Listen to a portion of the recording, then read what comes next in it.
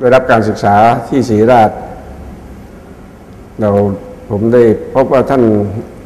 คณาจารย์ของคณะแพทย์ศรีราช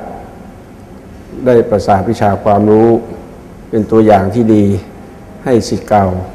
รุ่นก่อนๆ และรุ่นหลังๆ ได้ปฏิบัติตัวให้สมกับปฏิฐานของสมเด็จพระราชบิดา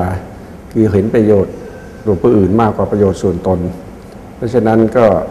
ในระหว่างรับราชการจนเกษียณอายุราชการก็พยายามดำเนินตามคำสอนของอาจารย์ และคำปฏิฐานของมหาวิทยาลัยมหิดล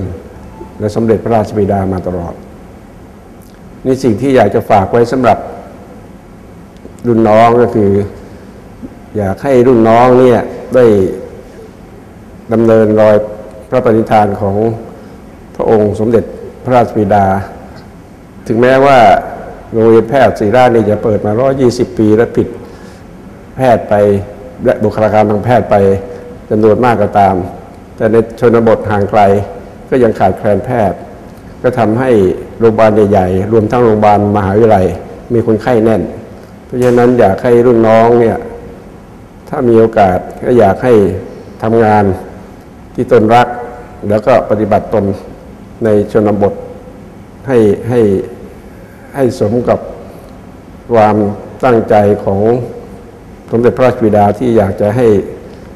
คนไทยทุกคนได้รับการบริการทางแพทย์ที่ดีครับ เอื้อให้ชาวชนบทได้รับการดูแลที่ดีในด้านสุขภาพ ผมก็